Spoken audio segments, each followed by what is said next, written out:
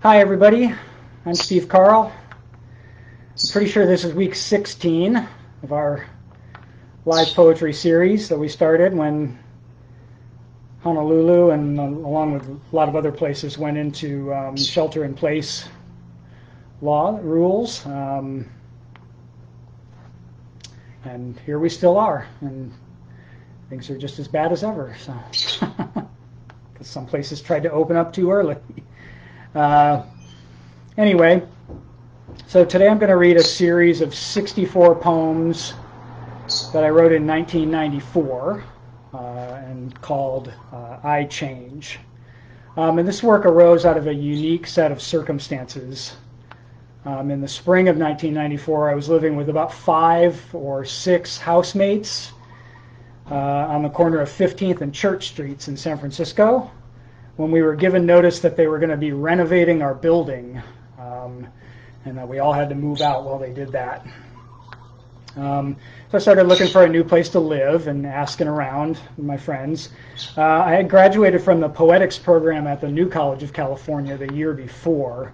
Um, and I, I just lived a few blocks from there still, so I still went and hung out uh, hung out down there every now and then. They would have readings, and you know, people that I knew that still went there would have parties that I would go to, and um, so uh, so it somehow came to my attention that the poet Giovanni Singleton, who was a student at New College in the poetics program at the time, uh, who had uh, gotten there after me, um, and I might be able to help each other. So.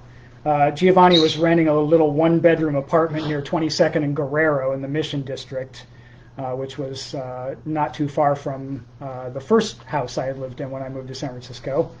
Um, and so she wanted to go back to Virginia for the summer that year to, to uh, stay with her folks, but she didn't want to lose her living situation. Um, so she offered to sublet it to me for three months for $500 a month, and uh, which was a lot of money for me in those days. I think I was paying 350 to split the place with the five roommates. Um, but I said, you know, I think I can cover that for three months. Um, and so, uh, so uh, yeah, I'm in.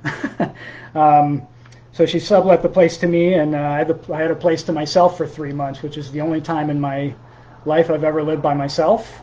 And so, um, so I'm thinking like writer, right? Like I got three months of solitude, and so I have to come up with something ambitious to take advantage of my my time alone.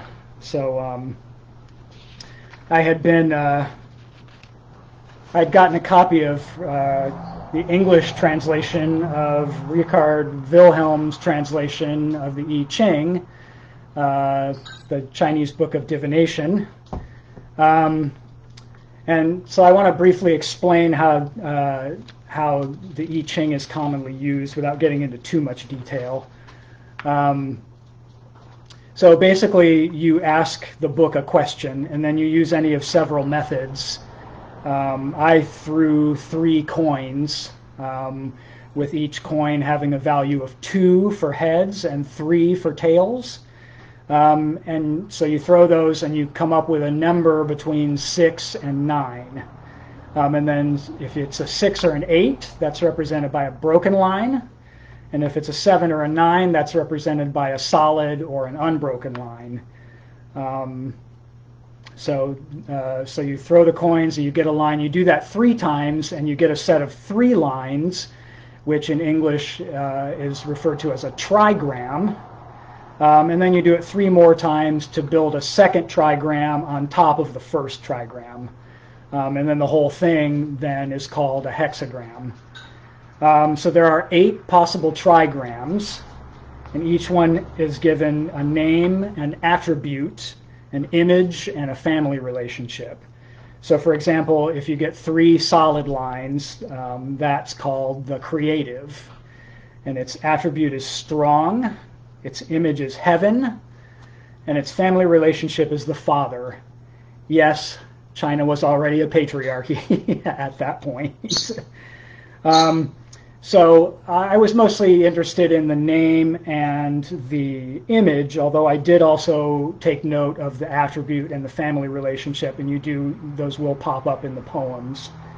Um, so in addition to the creative, the the uh, the trigrams are known as the receptive, uh, which is the earth, the arousing, which is thunder, the abysmal, um, which is water, keeping still, which is uh, the image of the mountain, the gentle, which has two images, which is interesting, uh, both wind and wood.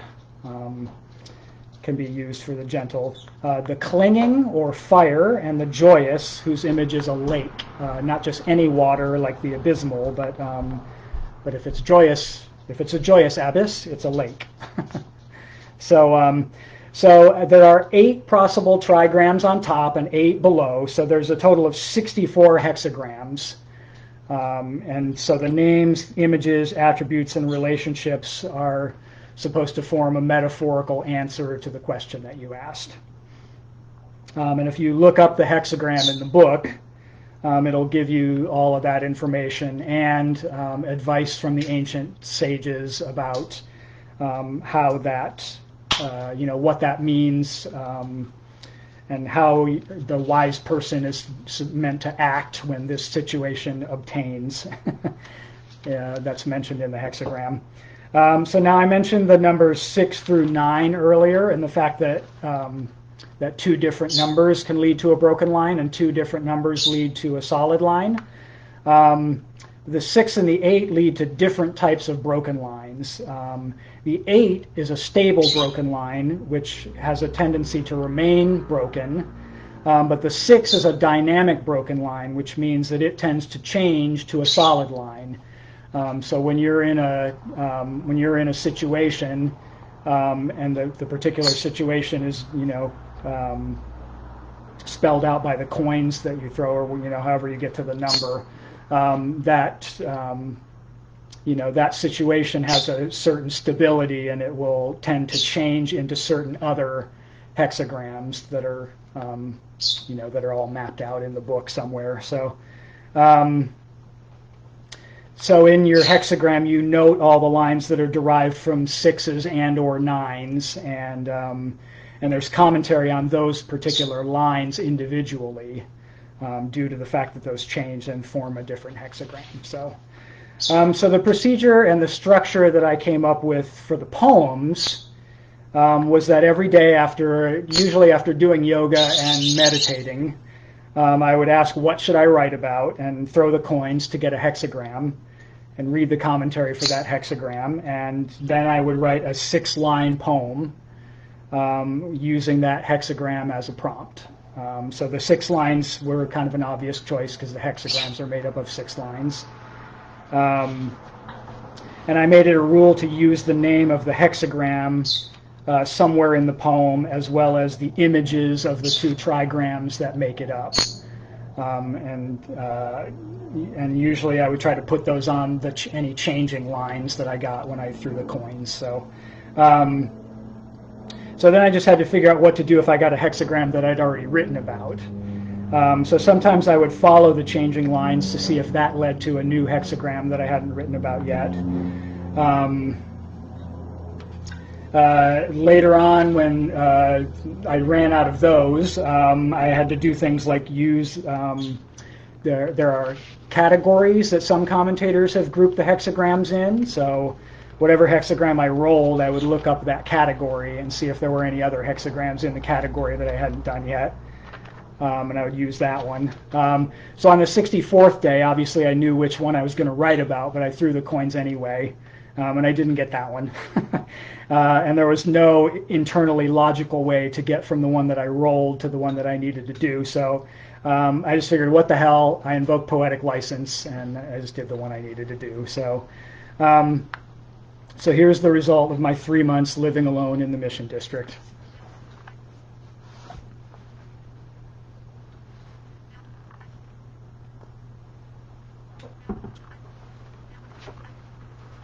I change. One, to move a way out mode of being through change. The shocking waves arousing laughter lap at the unfoldings of clouds.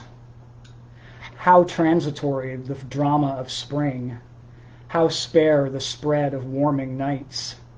The thunder first clears its candid throat, then speaks. 2. A running stand to transformation, the influence of inverted eyedropper, mountain, summit sunken, lifting lake to courtship bower, stills the will in joy and generates within a wind of eros. 3. A mountain, keeping still, maintains a frame of another mountain. A time long space flight through the life of the planet plants a notion in us everywhere. Mantic mother, settle me in the back, make a nest of my nerves. 4. Purples come from a place near yellow. The earthen cradled trees are pushing up, are pushing up through liquid, wind, and light. Every bee is also butterfly, but not on the same planed slice of time. The, earth, the tree enveloped earth is pushing up. 5. There is a rippling of the real. Creation on the lake is taking place. One more dangered era might still stand. But the youngest daughter under our sky treads lightly on the evanescent. Among the hours, she conducts the borealis. 6. One makes a move towards diffusion a wind won't long belie another, like zephyrs gently penetrate the door jambs of one's home and very storehouse. One makes a move towards suffusion. The breezes slip between the folds in one another.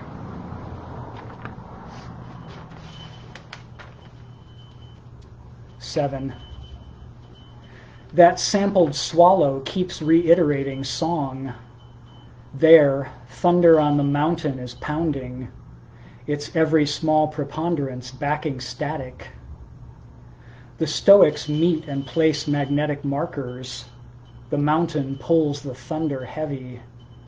However, rearrange the height of halo. 8. The flickering ether radiates from city air the fluctuant eye attached another touch to fit. The clay clods spattered on the hillsides speak, with modesty of beach sand sprinkled on the mountains. Primordial perfect tense of mounting exalts the ground from which once it scaled to space.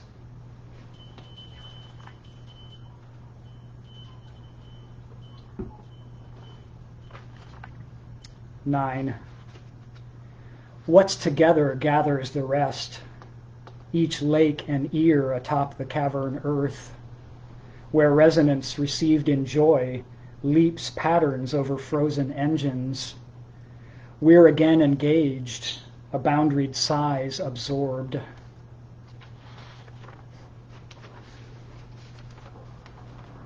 Ten.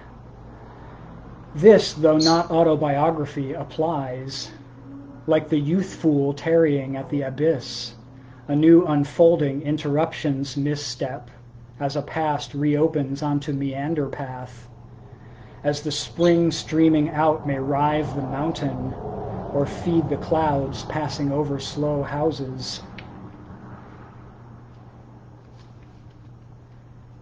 Eleven. To move profuses quantity Here's entities outpour to fill full the twofold devotion where earth within earth abides, its time a flowing tide.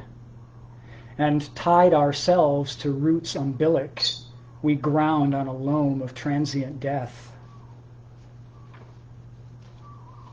12. My wretched elegies wrench origin from O, the lake itself lies overflowed or drowned. May be drowned in elemental April, A lament over limitation will blame places only shifting hydroplaned on underpins. A no can evaporate in unreconstructed nature.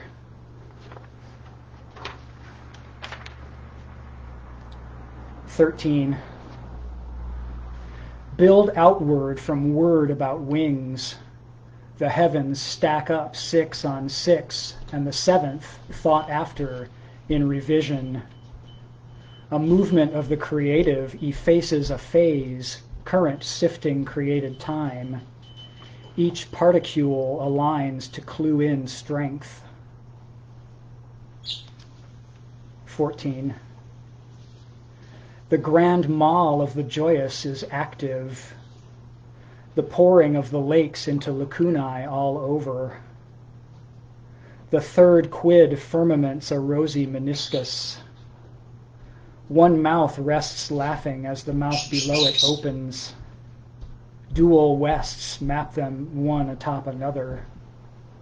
Some palatal mobility applies smile to arrive. 15. Pause for a listen with ears of sense. The thunder shelled, therming in its fiery wrap its rapier and cannons across Dark's dome in the way consuming equivocates union. A bigger acumen forages and finds corrosis, or that carbonation biting through facets.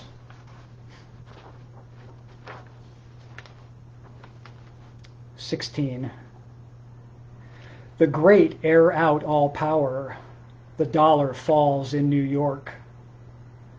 Thunder arouses the sky to creation, once escalated, mounts an arc or curve.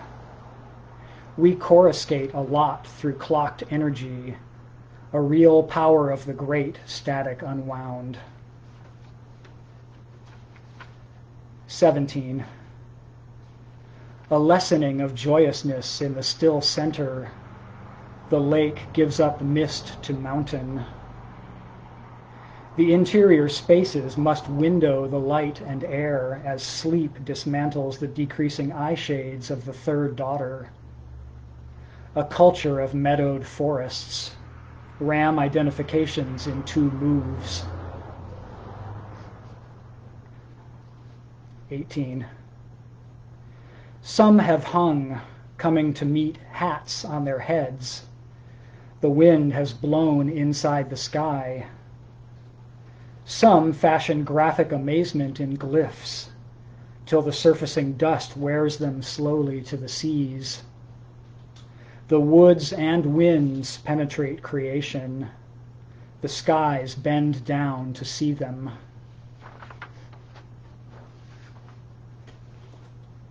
Nineteen. An urgent seated impulse to sleep burns up the land who siphoned off jouissance into the abyss, now will oppress and urge to symphony. Builded ruins jar the thick and smooth disaster. A lake exhausted of all water fumes unreservedly, hemmed up by rushes.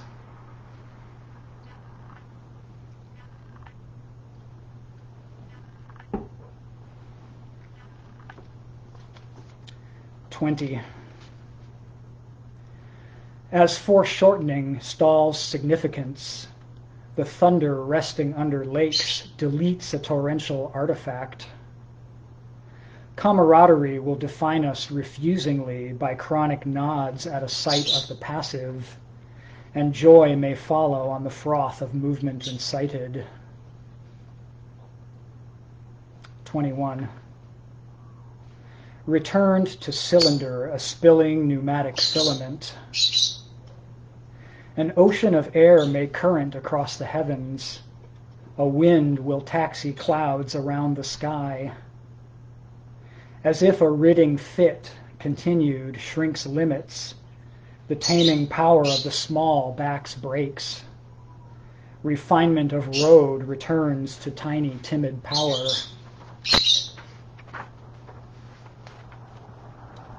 Twenty-two. While we postulate sleep into energetic dream, mountains turn ashen faces up to their creator, casting sure erasings as melodic rupture, its move the hermitage through jubilance. The strong retreat from the resting, and the rest keep still under the glare of heaven. 23. A string can bridge what's strict. It's the way of flame to leap from the lake, trading places, informed or unformed. Their opposition posits fuel for atmosphere, leaves clarity to cling to the joyous, to demonstrate the stations it pervades. 24. The initial relating collides without evision. Ascendant thunders in the chaos of heaving rain clouds. The throes evince the cast of coming things. How indigent the weight connects two ends. But difficulty at the beginning opens growing, the will aroused emerges of its cocoon of danger.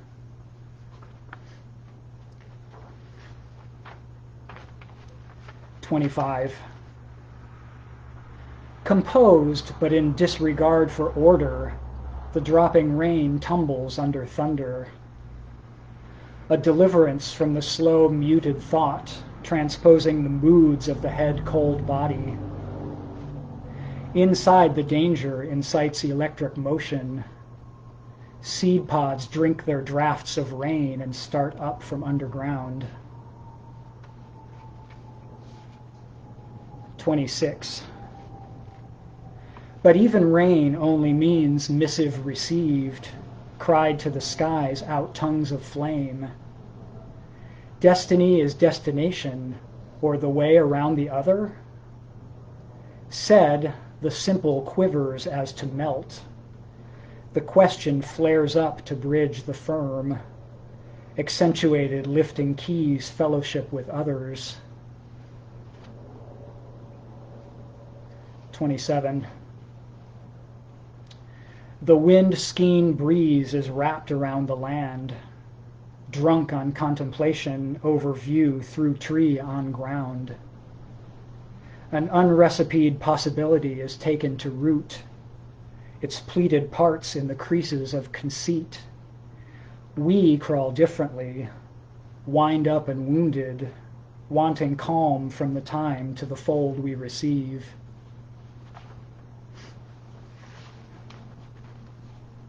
28. You abyss of earth, you've got the sun in your belly. You hide your candle deep beneath a whole planet. I'm biding the tide. Clarity may cling underside the giving. A darkening of the light lilts in patience. Time the tidings cast through crevices. 29. Sunken now and tamed, the mountains shrink away within the loom of flames. The lines sing over patterned filter and mean a silhouetted sense that trips. Triples even. It falls blown away into travelogue. Are words themselves already wanderers from peak, pinnacle, the point? 30. Swept away by dispersion, delicately or no, a wind of what sort carries off the water? Winds gathering over water disperse ferocity. Notion of health and ontologic retrieval. A calm like breeze dissolves into an ocean of bones. Night and summer step the threshold to hearing.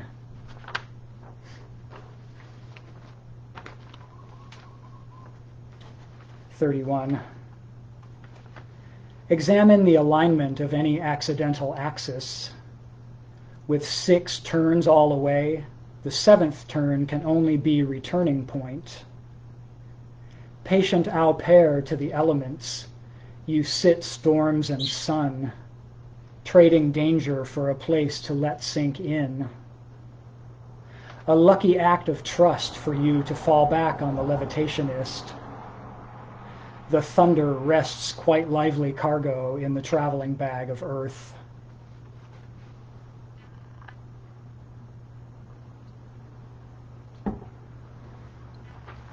Thirty-two. We thus see duration the domain of what endures, a hermit, hermit slowly entrancing what's timeless. The bits of form congeal around it, scrabbling the reft into time-lined blockade. Sounds, as thunder, piggyback the spreading wind. A walking order carried disassembly back to Ur space. 33. Any innocence as unexpected is lightly set. Underneath the sky, the thunder plays it rough. Through every scheme, each amount's conserved. You watch as let the lines connect, beginning making rolling. Aspiration aroused by and creates enthusiasm.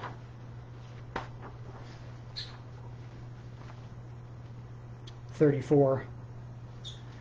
The hills have swallowed fire to breathe it forth, filled a raft of drifting life, with grace almost all out of our psychic limits, sorry, our physic limits. Only while we sleep can we create speech. The foothills flicker wreathed with candle sense excruciates by rose and lotus voltages. 35. First memories decay into tears, then work on what has been spoiled. A wind got trapped in the mountain's smothering cavities. The bird with its bad leg landed and pitched forward. The voice broke me open at the skin of human community. The bird pitched forward under moving cars' tires. The spill tears take. 36. The hover of thunder lakes the countryside, the side of the land, its lacunae sound, signed in thunder. Media meditation, Will her trains transmit any ergonomic joy arcing off the marrying maiden? If an undercommunicated hint hangs between, no Nero may intimate what history lies down next.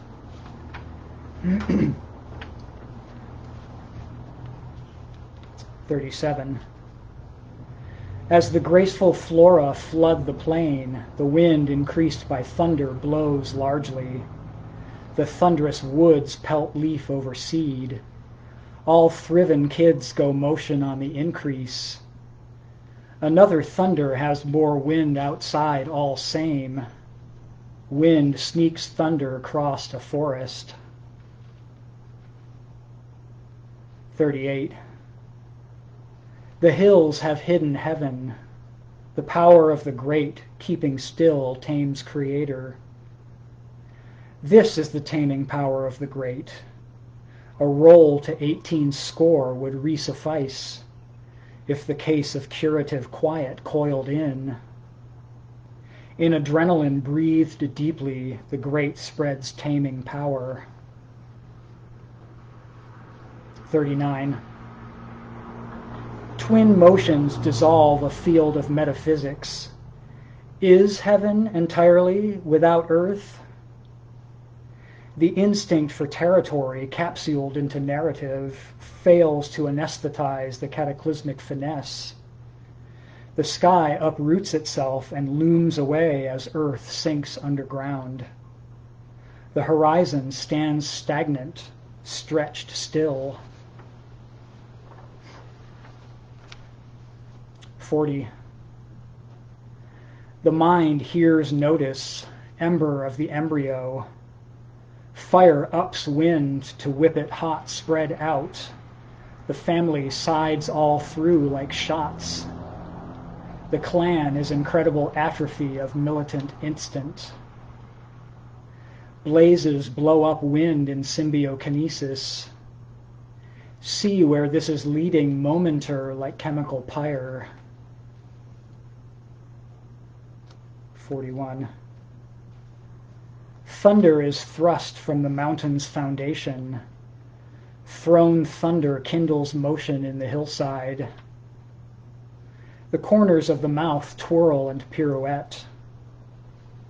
Pike's Peak, for one, swaps equilibrium's plug and plunges us into flight, gathering spring, providing nourishment in the new spark of white heat.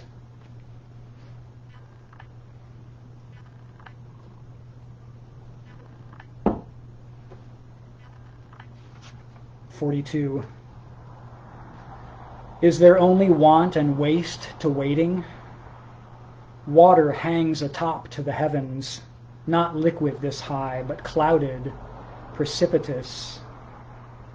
Create this word, this close to danger, and you can stand it in strange stead where the breath of life seen as steam obscures a distraction.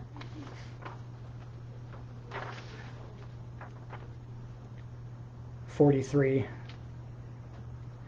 That chasmal joint that never fails, this water on that other falls. Ape away through the abysmal notation. Like it, you'll flow all over gorge rims. Water through and through and such. Deep in itself, wetting danger it sustains. 44.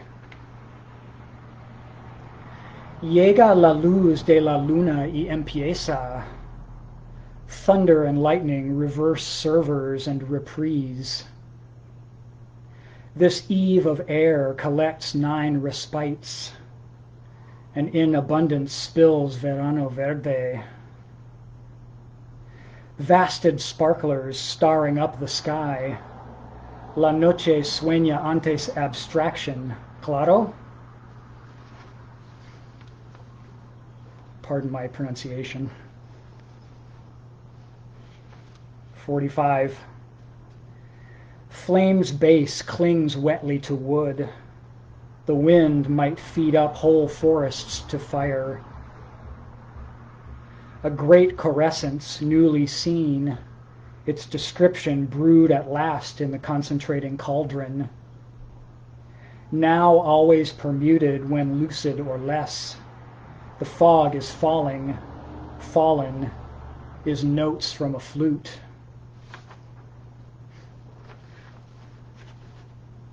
Forty-six. The lake will likely vaporate the skies and skies will then drip down with the lakes in scoop. Resoluteness occupies a breakthrough regardless, relegates older keys to chronologic locks. Our inveterate progression foreshortens, catapulting chance's apprentice, evolution.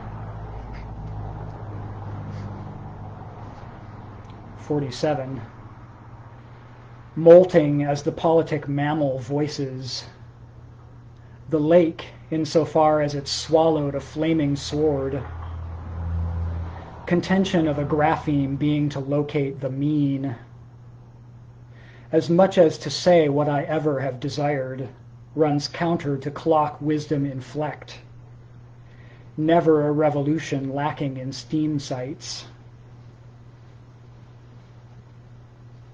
48. A conflicted press of motions caress each moment. The sky reflected in the lake comes no closer. Perfect haiku slipped into a lapse of attention, and only jasmine exhaust ever presenced. Another couplet strains like taffy to cohere in rhyme what kilters off as spoke.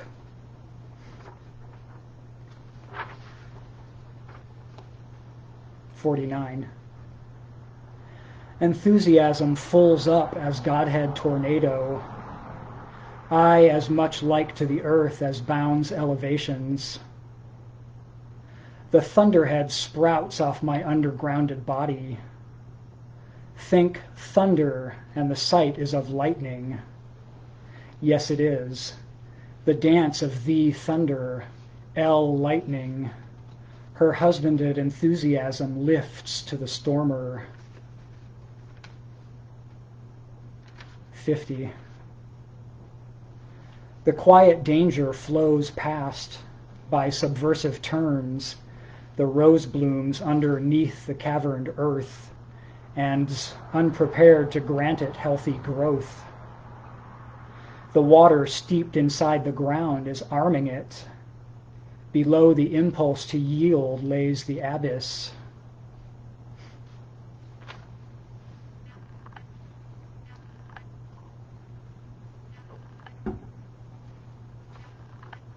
or the abyss.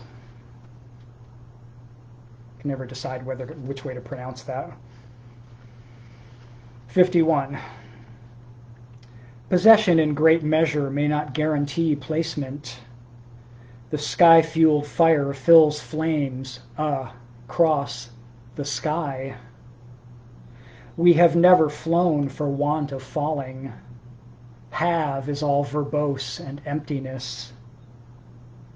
Blow the flames of creation over all this and blanket secret crestings within yourself. Fifty-two. Our shallow challenges puddle in every instant. Floods fill Earth's pores to the last generation. Phases processed into onward passing lineals as the latest hunger wakes to each next day, what residue of glue to hold together unions remains? A scribble early, quick, then off again. 53. Acts as a catalyst to cataractics. Obstruction dams the snowmelt movement down mountains. To learn itself a turn upon impermanence. Not a name escapes the change of epochs. Cinematic equivalent is slowing to a melt under bulb. Keep stilling toward an overflow up and sourcing down. 54. Throne of the seated sun, a lengthening of the light.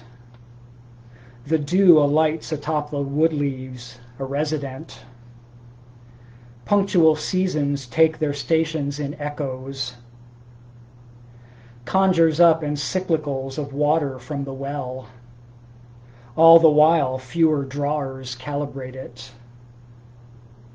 The centrality of the well is motif to the willowy rushes.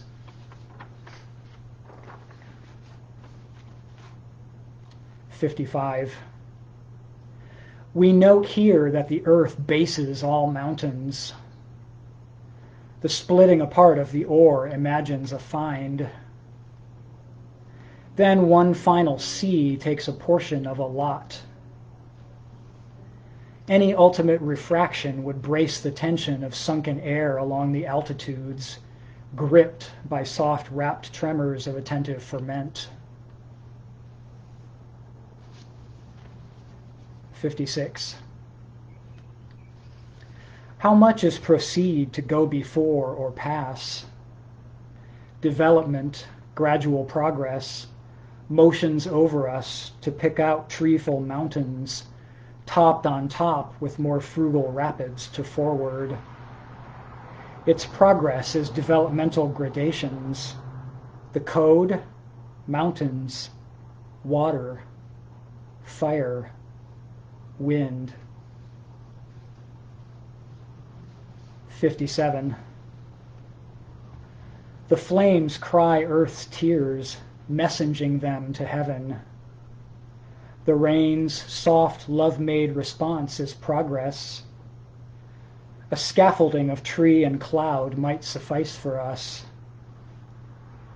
Only fire lifts transcendent light from the earth. Sky's crescent shape, nurturing balance, holds the constellations in their pinwheel buffers.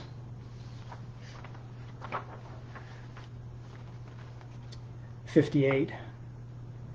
The mostly ordered sequential going into the day jitters the journey at a literal level. We center tuned to E at oracular Maya. Crossed reticences revel sadly in each other's wake. The structure, balanced rain and fire, after completion salves short mourning. There's another attempted lament.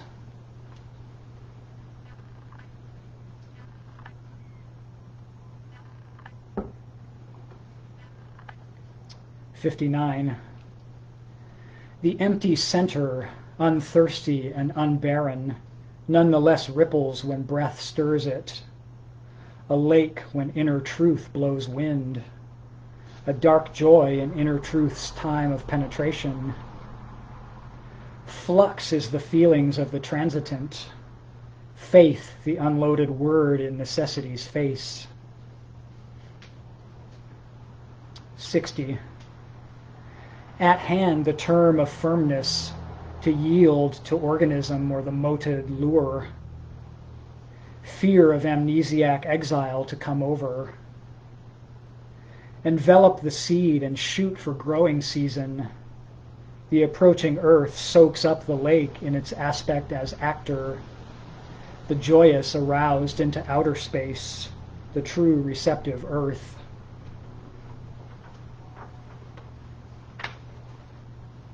61. One light clings like day in Klieg jeweled night. If one flame burns another for fuel, every false face might fall away in mere metaphor. But the heartage taken, firmed up in compassion, allows each fire to feed its partnered fire, to part to the time, at the appropriate hour to penetrate heaven in joyous devour. 62. A roiling motion portends to really threshold. The fire finds abode in the skies, and water wears down its beds, but yet incomplete things are withholding them. Before completion accomplishes that splash of compassion, one's compass must rest at N. Lightened, your stillness pulse starts. 63.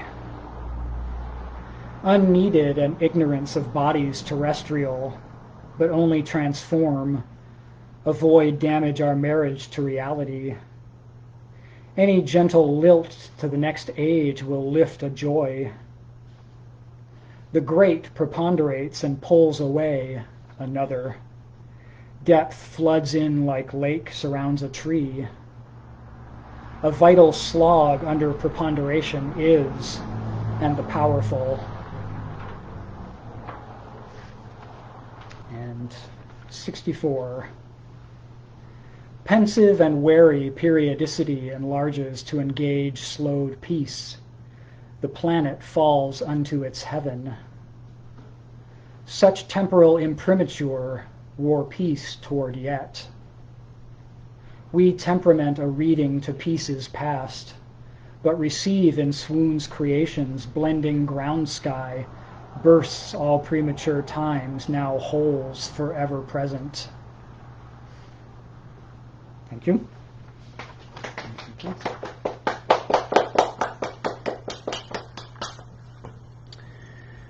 So after I finished writing these, I started sending them out to all the literary journals I thought might be interested in them. Um, and I got about half of them uh, accepted, spread across 10 small different small press journals. Um, it was too large a work to fit into the chapbook format. Um, and it's more expensive to do a bound edition, so publishing it myself wasn't really a viable option in those days um, before uh, print on demand was a thing. Um, my fantasy was to get somebody to design a set of postcards Um, and we would put uh, a, a, poem on one side of each postcard and a, a piece of artwork on the back, um, and then sell them in a little ornate box, um, which would have been even more expensive. Um, so what finally happened was uh, my friends and I on the Subpoetics uh, email um, discussion list formed uh, a publishing collective um, and we each kicked in 1% of our gross income, uh, annual income for uh, uh, per year for three years, and we used that as um, startup money. Um, and then each of us got to edit one book, and um, you know, we uh, we kept that rolling um, after the three years was up. Um, uh, and by that time, by the time my my turn came up, my friend Bill Marsh had written a sequence of poems based on another book of ancient Chinese wisdom called the Tao Te Ching, uh, and his book was called Tao Drops, um, and it was in a similar format to I Change. So I thought, well, why not publish two books for the price of one? Um, and I proposed to Bill that we collaboratively edit our manuscripts together um, so that they form an interwoven text. Um, and Bill agreed, and um, so we worked on that for several months, and the result was titled Tao Drops, I Change. And it was published by Subpress in late 2003 or early 2004. I forget when exactly we got back the thing. Um, but that's still available from small press distribution, um, or you can hit me up in a private message. Um, the reason I didn't read the uh, the reason I didn't read directly from this text um, today was because um, in order to interweave the text, we had to um, we had to take them out of order from the from the original order that he had his in and the original order that I had mine in. So um, as a separate text, um, I felt it made more sense to read mine in the order that it was written. So um, so this week's question. It's from Dan. As you are putting together these readings, no doubt you are revisiting a number of pieces for the first time in ages, and probably for the first time since some were written or published. Any thoughts about them overall or individually, looking back from the perspective of a quarter century or so later? Um, it's it's been it's been interesting. It's been kind of trippy actually, because um, yeah, some of them some of these I haven't read in in ages. Um, the uh, the interesting thing about them is that they they still sound like me, even even going back this far. These are going back 26 years now, um, and you know a lot of them I, I I have to rehearse them before I can read them out loud because I, they're they're you know they're unfamiliar to me when I first read them. So I have to make sure that I've you know read through them again carefully before I do them on the at these readings, or otherwise I would just be completely lost trying to trying to read through them. Um, and I'm still making mistakes, which is fine. But um, but yeah, the, the the interesting thing is that they, they do sound like my voice, but they don't sound they don't sound like the what I'm writing now. Um, they just kind of sound like me, but a, a, slightly a slightly less developed or a slightly different me, you know. Um, and uh, I, I am starting to more frequently come across ones that um, that I, you know, um, look at and I just say, I can't figure out what this is doing, you know, like why I considered this a finished poem or what I thought was interesting about it at the time. Um, so there are there are a few that I'm rejecting for these uh, for these readings, but surprisingly few given the given the age. So um, and again, I fully expect that as as I continue further back, I'm going to reach a point where I just like I can't read any of these. These are 16-year-old Steve or 24-year-old Steve or whatever was an idiot. You know, I can't read these or whatever. So, um, but um, I, I'm kind of, you know, I'm actually kind of grateful that it, it hasn't happened yet. So I can actually, you know, kind of look back and, and uh, think like, okay, there was something something was going on there, even that early in my life. So, um, you know, not to blow my own horn too much or anything, but um, so yeah. After five minutes of blowing his own horn. So I think that's all the questions. Um, so yeah, so that's it for this week. Um, I hope you guys enjoyed it, and uh, I certainly did. And um, we'll see you next week probably. Everybody take care. Love you all. Bye bye for now.